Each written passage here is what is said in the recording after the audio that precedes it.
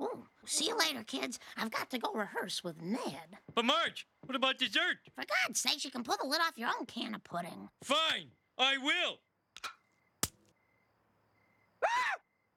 oh no, my pudding is trapped forever. So I can open my own can of pudding, can I? Shows what you know, Marge. Marge!